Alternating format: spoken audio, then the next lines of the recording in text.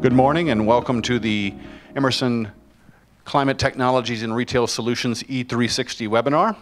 Uh, my name is Dean Landesh and I'll be your moderator today. Uh, we'll be walking through a presentation on what is the future of regulation in energy, food safety, and refrigerants. Uh, we will be taking questions later from the audience and we'll give you more instructions on that. And uh, we have a live audience here in our Helix Innovation Center in, at the University of Dayton in Dayton, Ohio. It's a beautiful new facility that Emerson has opened to facilitate collaboration, ideation, and innovation with a wide variety of partners in our industry, our customers, and the academic community and beyond.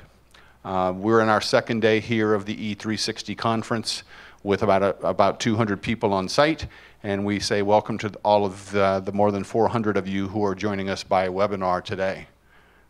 For those of you not familiar with Emerson Retail Solutions, we provide uh, controls, connectivity, monitoring services, and insights for the retail, grocery business, convenience stores, restaurants, and the transport industry. Uh, we're part of the broader Emerson Climate Technologies and Emerson, which is a global company as well. You can always find information on us at emersonclimate.com forward slash retail solutions. A few words about the presentation today.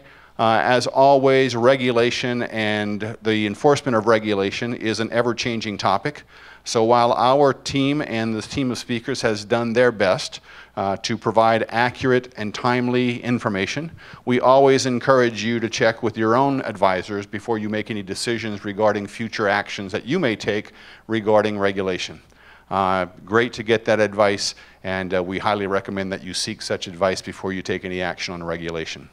It's my pleasure today to introduce our three speakers. Uh, our first speaker will be Dr. Rajan Rajendran. He's Vice President of System Innovation, uh, our System Innovation Center and Sustainability here for Emerson Climate Technologies. Uh, and he also runs here the, Inno the Innovation Center at the University of Dayton. Our second speaker will be Michael Britt. He is Vice President at the Energy and Innovation Center of Southern Companies. That's located at the Technology Center at the University uh, at Georgia Tech. And uh, we also operate a second Helix Innovation Center at Georgia Tech. Uh, it's tied in with this one. Uh, we're working there with the engineering teams, working on future ideation, innovation, and collaboration. Uh, that center at Georgia Tech is an, is an incubator, business incubator center as well, where lots of small startup companies go uh, to uh, get their start and to interact with a large variety of established companies as well as future innovators. Uh, you'll be hearing more about the Helix at Georgia Tech in future months as we get to a formal opening. And our third speaker is Marc Sanchez. Um, he is an FDA and USDA regulatory attorney. Uh, he's a well known uh, author. He's frequently sought out by leading media to comment on food safety and FDA matters. Uh, both Michael and Marc will be joining us remotely. Um, as I mentioned, Michael from Georgia Tech and Marc Sanchez from his offices near Washington, D.C. And with that, I will turn it over to Dr. Rajan Rajendran. Thank you, Dean. Um, I'm not a person that speaks with notes, but since um, we only have about 10 to 15 minutes, I want to make sure that I um, cover the points uh, that need to be covered. Um, I'm going to take care of about six items. If there's, uh, you know, if there's nothing else, I want you to take away six points from here. The first one is about uh, international regulation that is uh, happening right now in the refrigerant world. The second one is about uh, some of the US EPA actions that have been going on here uh, in, in the United States. The third one is I want to touch upon what's going on in Canada.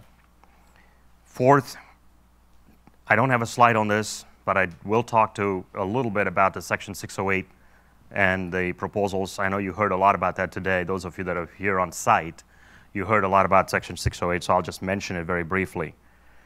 And then the fifth topic is where I'm going to touch upon some refrigerant alternatives.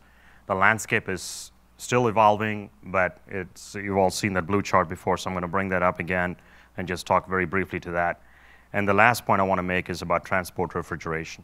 So that's going to be my objective to cover these six points. So with that, uh, let me jump straight into this uh, first chart, which is uh, an international uh, regulation. This is uh, actually Montreal Protocol. You're all familiar with Montreal Protocol that uh, curbed the use of 22, took it away. Before that, it took away R12. And the reason for that was ozone depletion. As a consequence of the Montreal Protocol, all the HFCs came into being. And uh, now uh, there is uh, tremendous interest in trying to curtail the use of HFCs for global warming reasons.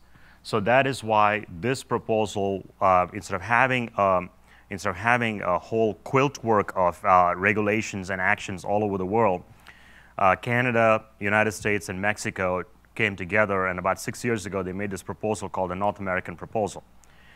It did not go anywhere for a long time, but uh, in, in recent months, it has actually made some significant progress. The most important thing to note about this proposal is that um, they're talking about a baseline, which is what you see on top, where it says 100%, and then taking the HFC production or consumption all the way down to about 20%.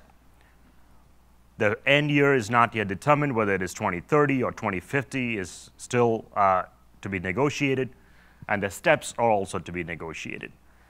That is a North American proposal, and there are other proposals on the table India, Micronesia, African nations, etc. And this last December, all the countries finally got together in Dubai and they came up with this agreement where they all agreed that yes, we do need to do something about these HFCs, and yes, we like the idea of a phase down, and yes, we will. Uh, by the way, the phase down, it's a phase down, it's not a phase out. Um, and uh, they did agree that they will try to work on some of the details. And so the countries are doing that. There are three meetings. One has already happened, the second one is in July, and the third one is in October. But those are the official meetings. In between all those meetings, lots of other meetings are going on. And this is something that I would track. If I were you, I would track this just to see where it is that all the countries in the world, and therefore us, will head in terms of uh, HFCs. Let me talk about the US EPA actions. This is July, um, in July, on July 20th, 2015. Apologize for the uh, white on green, it doesn't show up very well. But the first column is a refrigerant, the second column is for supermarket new, and the fourth column is for remote condensing units, and then the last uh, four columns are for standalone self-contained units. Many of you here in this audience are already familiar with a lot of these delisting this is a delisting where they're actually not allowing certain refrigerants in certain applications beyond a certain date. That's what you see there. For example, 404A is not allowed in supermarket, new supermarkets as of January 1, 2017. That's the second row and second column that I'm reading. And then you can see the rest of it. This is actually a final rule. That means there's no more negotiation on this, okay? And so if you, if you have an affected product in this, or if you're an end user who uses these products, and all of you here do, then you should be looking at this and making sure that your OEMs and the component suppliers are actually providing you all the answers that you need, okay? Now, um, the EPA has also come out with another proposal now in March, and uh, there's about two charts on this. And this proposal is a little bit broad. They did talk about some acceptable alternatives. They talked about some proposed unacceptable alternatives. Those are the two things that you see over there. And the important thing here that I want to point out is they are talking about commercialized machines, what, allowing propane in commercialized machine. And then you can see some of the auto vehicles and things like that. And the last uh, point here, the last row, residential light commercial AC, there have been a lot of people that have been uh, putting in flammable refrigerants as retrofits in residential HVAC systems. That has happened uh, a few times here in this country, and so the EPA clearly is coming out and saying those are not allowed, and that is what they, this is, by the way, it's a proposal, it's not a final rule yet. Now, from a refrigeration point of view, uh, there are a few uh, that are affected. That's in the second row, cold storage, warehouses, and retail food refrigeration. This is what you would call uh, like the frozen uh, carbonated beverage and such, everything that is dispensed through a nozzle, like ice cream machines and so on. And then, of course, household refrigerators. But if you are in the business of uh, building or buying centrifugal chillers or any positive displacement chiller, whether it is uh, scroll or recip or whatever, uh, they are talking about taking out 407CE and 410A in these chillers as of uh, 2024. Again, this is a proposal. The final rule is not out yet. In Canada, um, by the way, I'm not talking about California because I know the California has also got something, and if you have any questions about that, ask me during the Q&A, and I'll try to answer that. Canada has got a proposal out, and uh, this is not a final rule. They think it's going to be final sometime by the end of uh, this calendar year or early next year. Um, they are limiting, Canada limits uh, in each application by GWP number. They don't go by a refrigerant, they just go by a GWP number.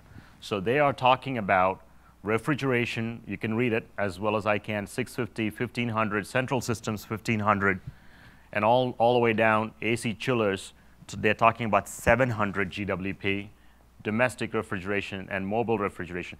This is the only place where you'll see uh, Canada, as far as I know, is the only place where I've seen a mobile transport refrigeration mentioned. Any other regulation, if somebody knows it, uh, knows any differently, please let me know. But I have not seen mobile refrigeration mentioned anywhere else except here in Canada, where they're specifically talking about a limit of 2200.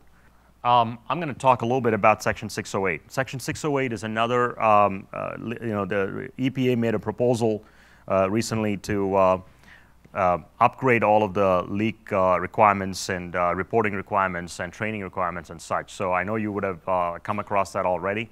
Again, that is not a final rule yet. So if you're making a list of things to watch, I would put that on my list of things to watch, especially if you're a contractor or if you have people that are working on all kinds of equipment uh, that, that, uh, that handle refrigerants.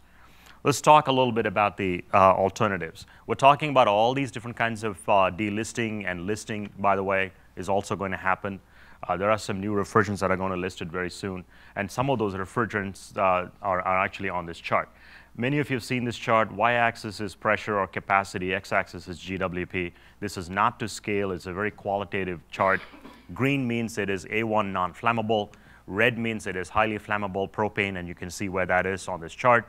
Uh, it's the only red dot.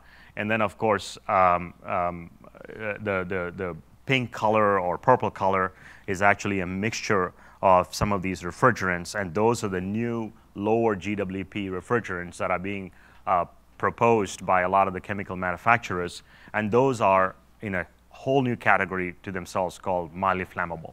The regulations are not there yet for these mildly flammable refrigerants, but some of them are already beginning to see use even in this country okay? And they're doing it under a different, more stringent set of regulations and codes. If you look, uh, you all can spot where 404A is. It's about medium pressure. It's on the far right, uh, about 4,000 GWP. To the left of 404A, you'll see 407A, 407F, and 452A, which is a refrigerant that uh, uh, Chemours has been promoting in transport refrigeration, and it's actually beginning to uh, see some use in Europe in particular. Uh, I don't know to what extent it'll catch on uh, in new equipment, but certainly it's a good drop-in for transport refrigeration in existing 404A systems. And then to the left of that, you'll see that less than 1500, 448, 449, and 449A and B, those are new refrigerants that are under 1500 GWP. Many of them are already uh, EPA approved. They're on the SNAP list for supermarkets and so on. And many, uh, many component and equipment manufacturers are already looking at those refrigerants uh, for, for use in these applications. All the way to the top left, you can see CO2, very high pressure, 1 GWP. And of course, you heard a lot about CO2, transcritical, subcritical, and so on and so forth. So I'm, I'm not going to say anything more about it. And down at the bottom, you'll notice that uh, in the pink uh, um, uh, section there, it says 12, 1234 YF and ZE. That is another group of refrigerants to watch because YF is a refrigerant that's going to be used in automobile air conditioning.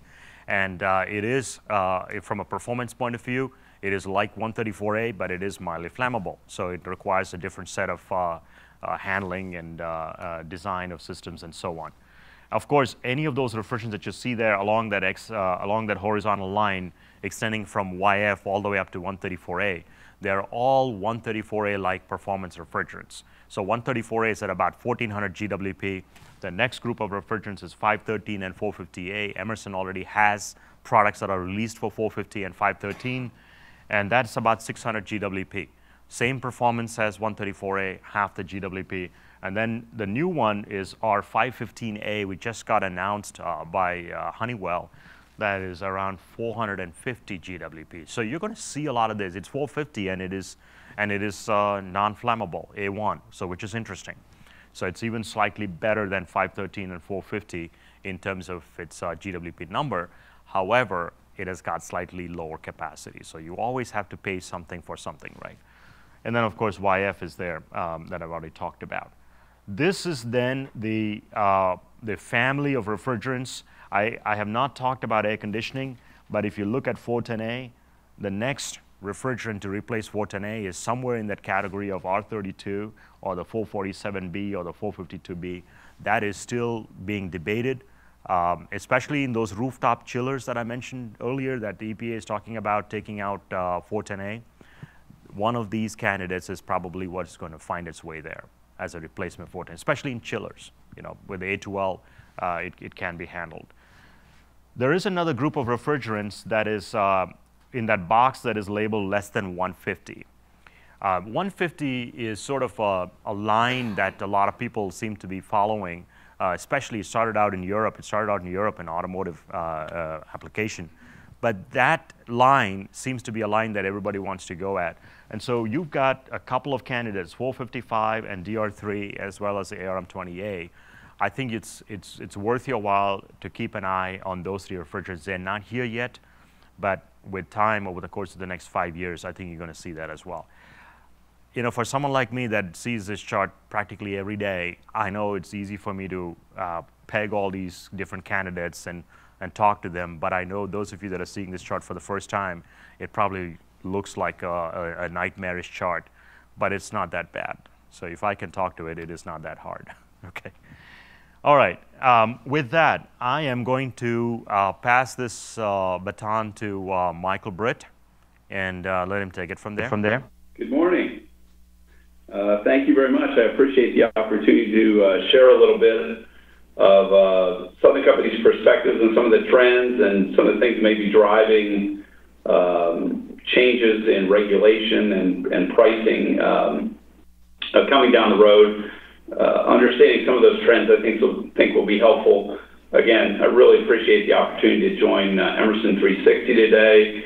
Uh, and uh, sorry I couldn't be there in person, but uh, uh, we we do work together with Emerson in the Climate Technologies group. so the group you're there with, Southern Company, Emerson, the Oak Ridge National Labs, and the Pacific West uh, national labs are working on a, a, unification of small and medium-sized commercial loads. So a lot of the things that matter to you, uh, we're working every day uh, jointly with Emerson on some important work, including my good friend John John uh, Wallace, who's there.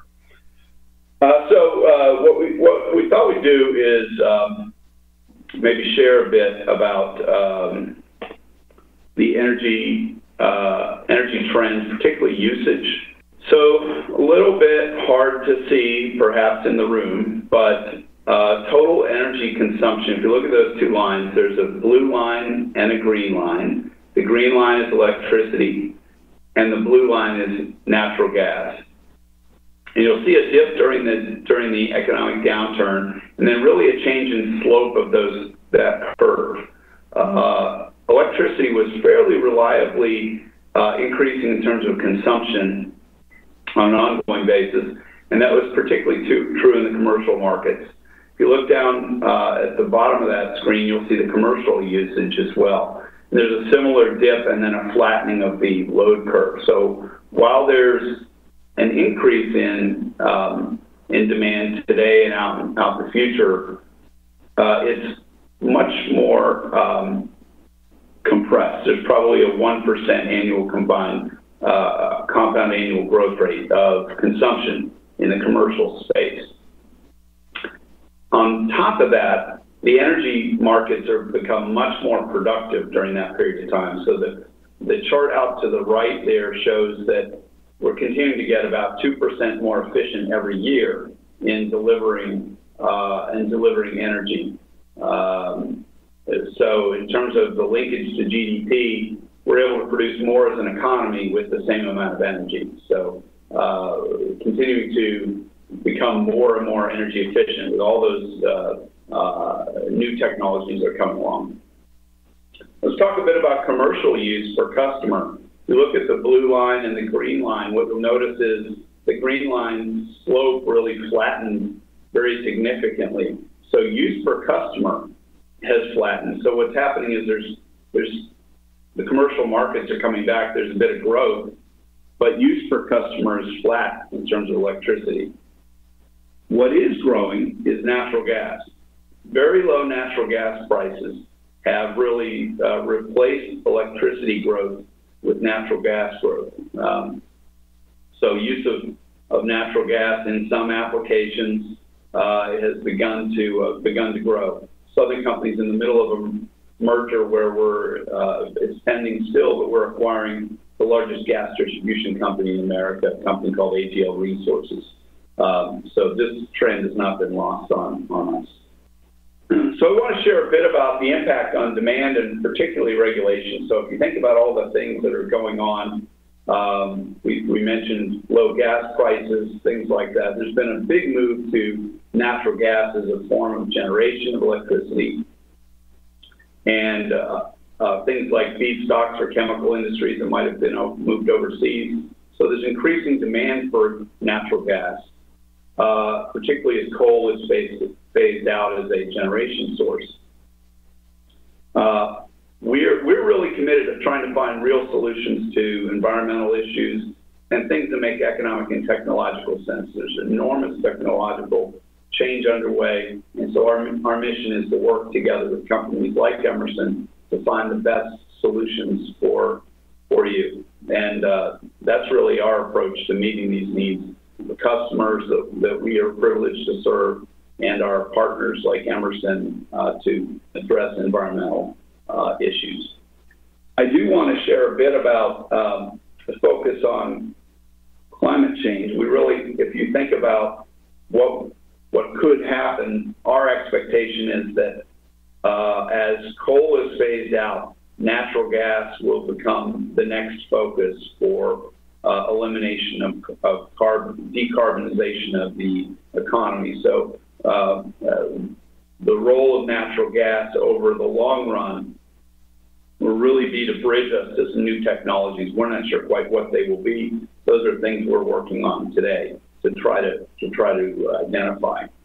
Um, but we do anticipate that there'll be increasing energy costs in the future as more environmental regulations come come along, and those will affect our customers, those of you in the room, uh, as well as uh, as our our costs of operations, which then show up in uh, in electric rates. Um, so let's talk a bit about regulation and the impact by market, because it's really different. They're two, they're two different markets. So some of you are served in markets that have an RTO, that's a regional transmission operator, or an ISO, an independent system operator. Um, those are disaggregated markets where generators bid into a market and distribution companies are your provider, but they're buying uh, wholesale power. Those kinds of markets create opportunities and and uh, threats. So uh, there's some trade-offs. We'll focus on each of those. But really, uh, bid market is every market participant is kind of equal, and FERC, Federal Energy Regulatory Commission, really manages and controls those markets. Vertically integrated markets, those are the ones that focus most on the customer and balancing the needs of all the participants, are state controlled. Uh, and the value proposition can be different because if you're bidding into the market, if if you have demand side management and uh, capability uh, and begin to unify loads, you may be able to bid into the markets that serve you and begin to be a player in the market. Uh, that means you take the risk of the market, both the upside and the downside. Um, on the state control side, vertically integrated markets really give you greater input into the structuring of programs, energy efficiency, demand side programs, and give you a little bit more protection, it tends to smooth out uh, the market impacts. The market risks are, are, managed by the utility that provides those services, subject to state regulators. Uh, so it's a little different uh, environment. A couple markets to really watch. Our industry is a, re- a real inflection point if you think about the electric industry. New York State has folk as uh, something called New York REV, and it's essentially turning the distribution system, which has traditionally been viewed as a uh, a natural monopoly, into something that is an independent market. So instead of just the New York ISO operating the transmission system, they'll now be an independent operator of the distribution system. So the wires and managing the local wires in your community uh, as a market, as an independent market. There'll be a lot of changes coming in terms of services, in terms of opportunities to participate in that, and frankly, potentially some risks as customers uh, served by that. So you'll need to really understand what's going on in New York uh, if you if you operate there. Also, you want to keep an eye on it because it could be that some of the aspects of New York Rev become a part of the regulatory construct in the states that you operate in. So make sure you understand what the implications are of, of a distribution system operator. California, similar to New York is trying to look at this only as a series of commission dockets. Instead of one big effort, uh, California has a series of commission dockets uh, that are all, all, underway, focused on different aspects of uh, re-regulating the power industry in California. California is always a little bit different. Uh, and, uh, so, but again, pay attention to California, New York. We actually think Illinois is also an interesting market. Uh, if you think about what's happening there, the state has made some efforts to to promote utility investment in infrastructure like microgrids and creating real uh, flexibility in the distribution system, which may create opportunities for you, again, to participate in new ways in those markets. Uh, that's really it in terms of uh, my my uh, comments. I look forward to, to questions, but at this point, I'll pass over to uh, Marc.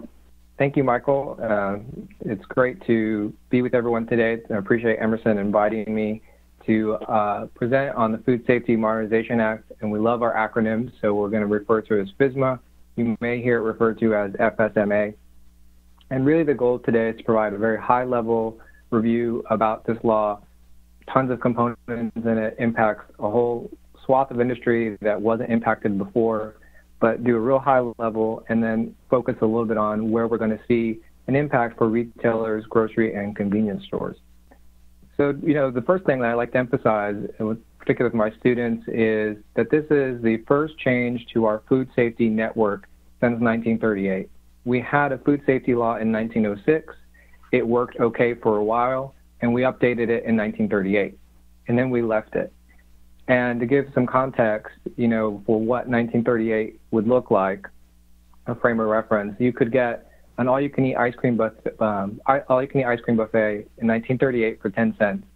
Uh, I don't even know if that's available anymore or if it would be uh, 10 cents. So it, that gives a frame of reference in time, and it also gives a frame of reference of how much we're trying to do in this period of time. We're, we're updating the food safety system for the first time in 75 years as it pertains to the FDA. We're not impacting USDA, so we're not impacting meat, poultry, just the FDA side. But we're doing 75 years worth of lifting at once. And so it's a pretty big change, and that's really why I like to emphasize the amount of time that it's taken for this law to come into effect, and also why it's taken so long for the law to be finalized. It was passed in 2011 and signed into law in 2011, and just now in 2016, we're finalizing what that law looks like in terms of the regulations and putting those into effect in 2017. So the initial question is, how does FSMA function? And we have a technical answer and we have a practical answer. And the technical answer is very easy. FSMA gave FDA new authorities, and we'll talk about those in a couple of slides, and it created seven substantive core rules that basically gave regulation to places that didn't have it before and new regulation for places that did have it. But more practically, what FSMA did was to, through this amendment, push the burden of compliance from the FDA to industry. And we've seen this before. If you're familiar with the generally recognized the SAFE concept, GRAS, uh, used to be that you had to uh, apply to the FDA every time you wanted to affirm a substance was GRAS, uh, food contact substances, doing notifications, and then moving to self affirmations. Same thing here. FDA is saying you know your supply chain best. You make sure that up and down the supply chain, you're verifying compliance with the law. And you, you see that every day. You see it on a weekly, monthly basis. You have the economic incentive to do it. We're going to put it on you. And what that practically means is number one, that we're really integrating the supply chain from the supplier all the way to the grocery store level. That entire supply chain is integrated. And we're creating new liability traps to put incentive for self regulation. So you want to make sure that your supplier is in compliance because otherwise you fail to either meet a documentation requirement or a duty requirement, which opens yourself to legal liability both from the regulators as well as from private industry um, from private plaintiffs, which we see a lot of with the labeling litigation. We're going to see, I think, a lot more of that as FSMA, as FSMA comes on board. So as I mentioned, you know, FSMA at its core is constituted of seven rules. Each of these rules is about 600 pages, and accompanying that is about 800 pages of analysis and economic impact and different things. No way I can get into all of the ins and outs of what each of these rules is going to be, but I want to just give a highlight of what some of these rules are going to do. And you're going to hear in this, you know, an emphasis that some of this is for the first time. So produce safety. For the first time, we're regulating how farmers produce the produce and um, agricultural items that end up in our food and end up in raw agricultural commodities. So we've never had the farm regulated before. The Animal Preventative Controls Rule. For the first time, we're regulating the good manufacturing practices of animal feed and food. Sanitary transportation. We're regulating for the first time how food makes it from the manufacturer to the grocery store. And in, in that, we're raising questions about is it temperature sensitive and how do we maintain that temperature during transport? Human preventative controls. We've all heard of the uh, hazard analysis and critical control point HACCP model. We're bringing HACCP in as a requirement pretty much across industry. We've modified it. It's not exactly HACCP, but it's going to be like that. The foreign supplier verification program, we're now requiring even our foreign suppliers to be compliant with this new rule, putting that burden again on the importer. So it's shifting that paradigm where we used to rely on the cheapest price or who could source it the best, and now it's going to change. And that liability trap, we're going to want someone that's the most compliant. Third party verification if you're a third party coming in to verify compliance with good manufacturing practices, you need to be certified by the FDA. And an intentional adulteration rule where we're addressing terrorism concerns, addressing some concerns about um, employee uh, misconduct where we can have intentional adulteration. I also mentioned that the FDA is getting some new powers under FSMA, and this is really important part of FSMA is for the first time the FDA has given some teeth. Prior to this, the FDA could ask, they could request, they could really plead for you to do something as a facility, and you had the option of saying yes or no depending on what your risk profile was. And if you said no, the FDA had to go to court pretty much for everything that it wanted to compel you to do even if there was a really big health crisis that required you to pull that food off the market, the FDA would have to go to court to actually mandate that you do that. That's changing. We now have mandatory recalls. The FDA can compel you, force you to conduct a recall. They're going to ask you first and give you a grace period to comply, and we, that's why we haven't seen this used yet. But then you will have to issue the recall, and you will have to do that. We see the threshold for administrative detentions and uh, seizures dramatically lowered it used to be that the FDA needed credible evidence to seize food, uh, credible evidence of adulteration, credible evidence of misbranding. And now the FDA just has to have a reason to believe that it's adulterated or misbranded. A much easier threshold where if they're seeing that there's noncompliance with a particular rule, that could give them a reasonable belief to put that food on hold. And then we're seeing the ability to suspend food facility registrations. There's a group of facilities that have to register with the FDA as a food establishment.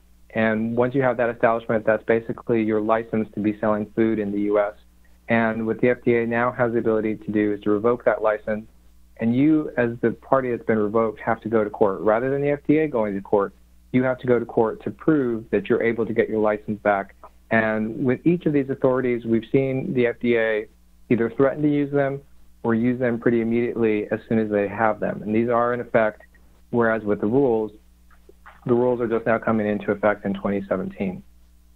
So when we look at what we're doing in FSMA, we're really regulating the full food chain. We're going from base ingredients, either if they're foreign or domestic, we're going from the farm, we're going all the way through that production cycle to the grocery store, convenience store, wherever that consumer is going to find that end product.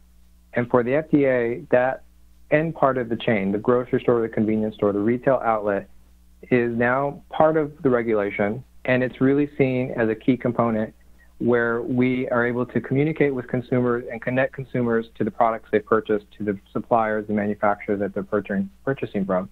And this is really important, and we're seeing this now with the CRF frozen food recall. We've seen it with others like the Bluebell ice cream recall. How do we effectively communicate to consumers that they may have in their fridge or freezer a product that has listeria, has salmonella, has glass or chemical contamination that needs to be returned to the store, returned to the manufacturer, and not consumed? And what FSMA initially said, and it's still part of the statute, is that the FDA was to establish for grocery stores and convenience stores that had 15 or more locations a manner and location for recall notices. And it was supposed to be this conspicuous place where you put it. And an example of what this may have looked like would have been in the Bluebell recall, maybe putting recall notices over the ice cream section or putting them near the frozen uh, frozen cases. The FDA has stalled on that in part because they're not really sure where that conspicuous location is, where that conspicuous manner is. How do we communicate to consumers in our stores that they have a recalled product? Something the FDA is still figuring out. And what we see at the moment is that the FDA is relying on the new database that's required, the reportable food database, where you have to put notices up so that uh, retail outlets can find out about them. Public release, press releases that we have has always been, always been a part of a recall, and that hasn't changed. And what we're seeing is industry groups now pushing for FDA to finalize some regulation, some guidance around what grocery stores and convenience stores need to do to help in that FSMA recall obligation. And this ultimately is the biggest impact for the grocery stores, um, convenience stores, and other retail outlets is figuring out exactly how to participate in this recall requirement, how that's going to look, as well as understanding that access to products is going to be really changing as suppliers and manufacturers start to comply with this. It won't be as much of a change for larger manufacturers. They're catching up more quickly. But for the smaller, uh, mid-sized manufacturers, it's really going to be an issue. And for some areas of industry, it's going to be a big concern, like transportation and different areas like that. So with that, I'll turn it over to Dean for questions. Thank you, Marc, and thank you, Rajan and Michael, for informative presentations. Uh, we will be taking questions from our web connected audience. If you're on the web, you can use the chat feature to submit questions uh, to us here. Uh, we will take those questions and read them back to our presenters. Uh, to get that started, Marc, I'd like to start with you. Um, with your broad insight into the FDA, how would you describe the agency's readiness and its enthusiasm for this broad new responsibility? One of the interesting things about FSMA is, is an education for everyone, education for industry, education for the FDA. They, for the first time, are doing all of this as well. They're learning as we are learning. So what the FDA has expressed is in these areas with the substantive rules, there's a keenness to cooperate, to educate, and to really be proactive. What we've also seen is an eagerness and a readiness to use any of the new powers that they have to come out. So the FDA seems very ready, very proactive, and um, willing to work with industry, but also willing to implement its new authorities. A, remind, a reminder to people here in the room if you do have a question, you can write it down, pass it to the aisle, and we'll run it up to the front of, front of the room as well. Michael, question for you. Um, what has been the process by which federal regulators have evaluated and then adopted the state regulations that you mentioned, the types of regulations that were emerging in some of these other markets? Great question. Um, really, when you start with all this, there are two fundamental underlying uh, rules that drive all of this the Clean Air Act and the Clean Water Act. And so all of these regulatory changes are really going to be hinging off of or leveraging off of an interpretation of that legislation. But remember the old uh, uh, after school special, how do you make a bill kind of song? Well, it goes through Congress, writes uh, some legislation, bill, gets the president, he will sign it. Then it, what happens, that's when it starts to get interesting because the EPA will create a rule, a proposed rule. There'll be a rulemaking, and uh, that will allow comment and people to get engaged and involved in what uh, what those rules might be and how those legis- how that legislation can be interpreted. So there are a lot of opportunities to begin to engage uh, uh, throughout that process, either with legislators or uh, EPA and uh, industry associations are a good avenue to do some of that. But then once the once the regulation is finalized, it's uh, codified in a um, in a CFR, Code of Federal Regulations. But that's when the fun begins because now the rule is really tested then, usually with litigation almost right away. So the courts end up deciding a lot of what regulation means and whether the intent of the legislation is met, those sorts of things. So often it's a very lengthy process, lots of sausage making. Thank you, Michael. Uh, Rajan, next question is for you. Uh, could you comment on the state of building code standards, both nationally and locally, for A3 flammables and A2L mildly flammables? That's a two hour long answer, but that's all right.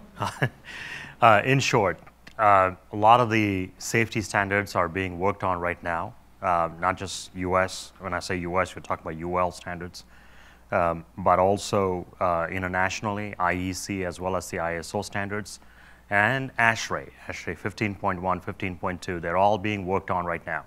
Uh, groups of people, volunteers are working very hard to get it all done by 2017. The goal is if they finish it all by 2017, then we can get into this cycle of 2018 to 2021 to get all the building codes done. Alongside of that, there is an effort to see if there is a way to try and shorten that building code cycle. Instead of waiting till 2021 to have all these A2L and updated A3 regulations in place, can we somehow do something sooner than that? I don't know how, um, how successful that effort will be, but there are A3 um, refrigerants that are allowed today, and uh, the charge limits are small, but they are allowed. And the same thing is true for A2.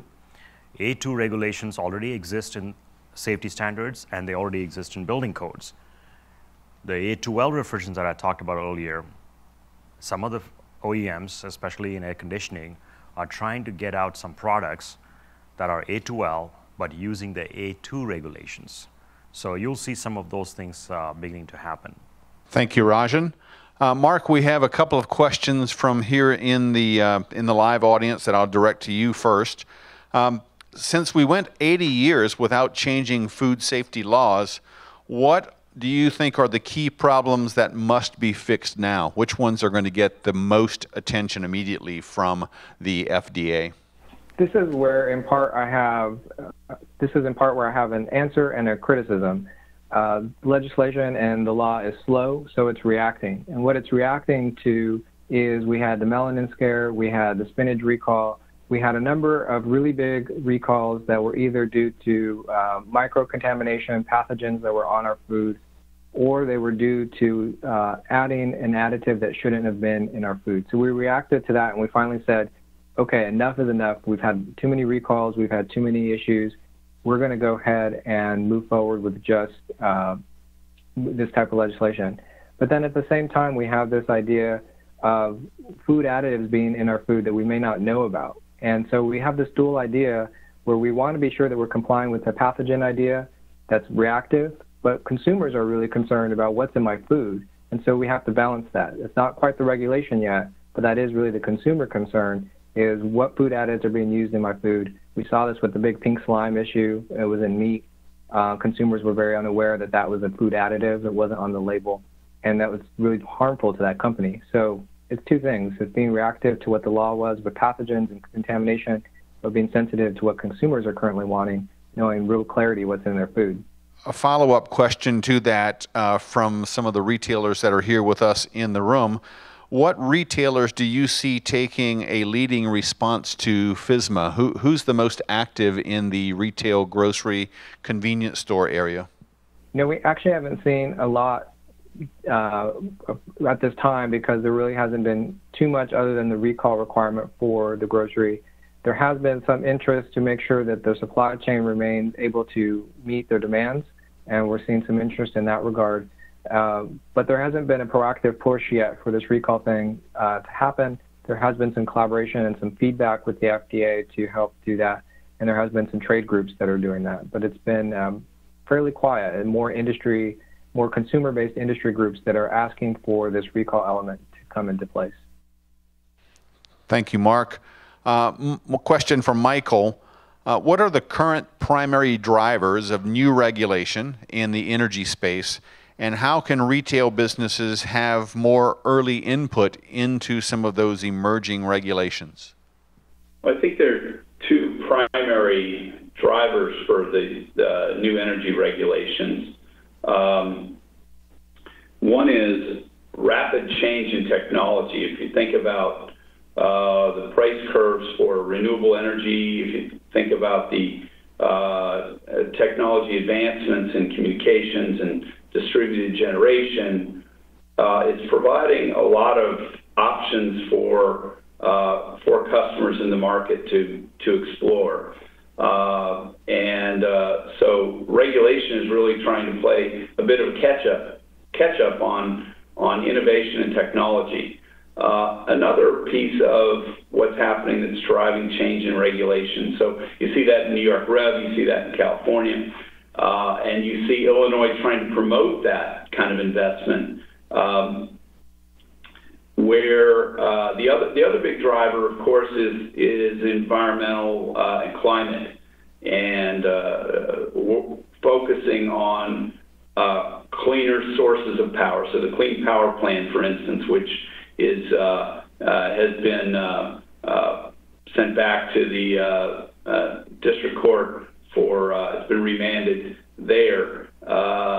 expect it will probably come back to the uh, Supreme Court, and it will probably be a divided 4-4 vote, in which case the district court's ruling will prevail. Uh, don't know what will happen there, but if that were to happen, depends on the timeline of how quickly um, the D.C. Circuit uh, works through uh, the, the remand issues from the Supreme Court. So we really see uh, environmental things like the refrigerants that you were talking about, uh, you know, and, and clean power plants, things like that are really driven by the environmental, uh, uh, the need to enhance and, and, and um, uh, create greater controls around environmental. So things like energy management systems and, and uh, things like that will become more and more important. Uh, self-generation may be a piece of something that customers are going to begin to look at more, more seriously. Thanks, Michael. The next question is for Rajan. Uh, will the limit of 150 grams of flammable refrigerants be increased? And if so, when do you think that will happen? Don't know the answer to the question. Um, I think um, by 2017, the end of 2017, which is when the safety standards will get completed, uh, there is effort to increase it to 300 grams. Uh, some people are talking about 500 grams. Uh, there is even discussion about kilogram levels of charge uh, from um, some of the folks in, in, the, in, in the European market. Uh, but even if that happens globally, it will probably get adopted in the US under our safety requirements and guidelines. So, what happens on the IEC or ISI, especially the IEC standard, will not necessarily translate one for one here in the US because when, the, when UL adopts that number, they will, uh, they will adjust it for the local uh, market needs and safety requirements and so on. So the answer is I don't know, but it could be within a year to a year and a half. Well, while you're predicting, um, what do you think about the EPA SNAP approval for A2Ls? Um, the EPA actually has uh, SNAP approved R32 in small charge systems, window air conditioners, and PTAC and PTHPs. They've already done that. Uh, that is so that in terms of A2Ls being SNAP approved by uh, the EPA, that has already begun. They've already SNAP approved 1234 YF for um, automotive application, automotive AC, and then Z for foams and so on. So the A2L approval by the EPA has already begun. If you're talking about A2L approval for refrigeration needs, um, I think uh, within a year you're going to start seeing some A2Ls being approved, especially for self-contained equipment and such. So I'd, I'd watch uh, the EPA website, if nothing else, at least once a week. Thanks, Rajan. A reminder to those of you who are connected by the web, you can submit questions using the chat feature on WebEx. Just type your question in, send it to uh, the location here, and uh, we'll get it uh, to the front of the room and get it asked to our panelists. Marc, another question for you. Uh, what do you think will be the largest impact to grocery operators and when due to the new FDA rules and the role of the FDA in regulation? This is a good question. I think one of the biggest impacts will be disruption in supply. And what we're seeing, you know, is an integration of the supply chain and more responsibility for that and more reasons both for recall or to slow production. And I think we're going to have a period of time for at least the first year to three years that FSMA is in effect, where it's going to be disruptions due to recalls, disruptions due to suppliers not being able to find compliant supply. And that's already been an issue where we're just talking about with clients um, what suppliers to use. And they have suppliers that are either foreign that don't want to participate in FSMA or who are domestic and don't feel that that interpretation of FSMA is correct or they want to challenge FSMA in some way. And so it's kind of coming to this question, well, where do I get the supply for my product? So we are kind of inspecting some rough transition period there. Um, and, you know, looking at the supply integration issue, we're looking at the frozen food recall, 340 products over 42 brands. That's going to be kind of a common recall that's going to happen under FSMA. We're going to see bigger recalls, re- recalls from one company triggering and rippling throughout. And so that can be a real disruption as well. Follow up question to that, Marc. You mentioned earlier in the presentation the, uh, the temperature tracking that is required. Uh, how has that changed and what impact do you think that will have on grocery retailers, convenience stores, and uh, restaurant the restaurant business? So what we're seeing, in particular for temperature control outside of the manufacturing process, is there's a need for uh, carriers to identify whether or not temperature is a potential hazard for adulteration, uh, in particular for spoilage. So for pasteurized products, we're we're treating the pathogens through pasteurization, through thermal or acidification. But for other foods that are temperature sensitive, maybe ready to eat foods that are going to go from a frozen food manufacturer to a frozen truck, refrigerated truck onto a grocery shelf, we want to make sure the temperature stays consistent. And what we're seeing in the transportation rule is a need for carriers to be educated on temperature, uh, carriers to be able to monitor ter- temperature, and carriers to be able to verify and calibrate the uh, refrigeration equipment that they're using in their trucks. And that's the real key that's been new is the carriers have never had that responsibility, have never had that obligation. And what they're having to do now is train on both ends, receiving and dropping off at the retailer to make sure that at both ends they're maintaining temperature throughout the process. So, Marc, one more follow up on that. When that food comes all the way through the chain and from the transporter to the retailer, uh, what what obligation is there for record keeping for that record keeping the transfer, or is that clear at this point? So what the FDA has established is a system called Good Transportation Practices. We've seen uh, an, an, analogy of this is good manufacturing practices for the manufacturing process. What the FDA is saying with good, trans- good transportation practices is a key is documentation. You need to document that your employees are trained for the uh, loading and unloading on both sides that they're aware of food safety risks, and that you're documenting how frequently you're calibrating the equipment, when you're loading, what temperature you're loading at, and so forth. So there's going to be documentation throughout the entire process. And one of the key features of FSMA is documentation, and it's heavy in each rule. Thank you, Marc. Uh, question for Rajan. Rajan, how do you describe the state of contractor readiness uh, for flammables and other alternate refrigerants? Not very good, I'm afraid. um, even in Europe, where um, they have got much more experience with flammable refrigerants, uh, not all the contractors can handle and know how to handle flammables. And I think uh, in, in our country, it's uh, probably a whole lot worse.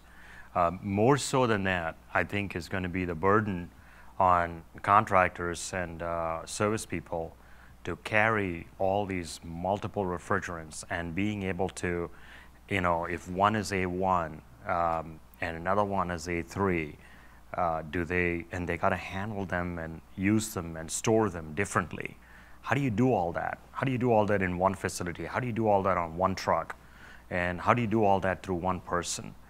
Uh, do you have one person just handling A3s and do you have another person handling all the A1s? Because, you know, can you switch your brain from one to the other? I don't know. Those are all the challenges that I think we as an industry are going to face. It's not going to be easy to do all these things. Thanks, Rajan. Our last question for Marc Sanchez. Uh, does the FDA see more or new risk to the food supply when they're delivered by online grocers? Now, I don't know that the FDA has analyzed uh, these new services where groceries are being delivered. Uh, what they have said is that if there's a grocery delivery service, they're going to rely on state regulation, county regulation to make sure that those are certified parties. I think they're going to be treated more as a restaurant or an extension of a restaurant where they're going to need to have a health certificate and have uh, health inspector type review. Uh, the FDA has said really their focus on the transportation rule is to focus on the carrier's interstate conveyance of them of the food. Uh, so I don't know that the FDA has addressed that particularly yet. And I think as time goes on, what we see with these new technologies and these new services is as they're matured on the market and they present new risks, that's when the FDA will find and decide whether or not it's time to regulate. It's a very reactive process to regulate and to legislate. Thanks, Marc, and thanks for participating today. Michael Britt from Southern Companies and our neighbor at Technology Square for our new Helix Innovation Center at Georgia Tech. Thank you as well. Dr. Rajan Rajendran here in the, in the room, thank you as well. Uh, for all of you who are both in the room and online, uh, we will be posting this webcast for replay. Uh, if you did sign up, you will get an email notifying you of when it will be available uh, for that replay and the web address. Uh, thanks again for joining us at uh, Emerson Climate Technologies and Retail Solutions, and uh, we wish you a good day.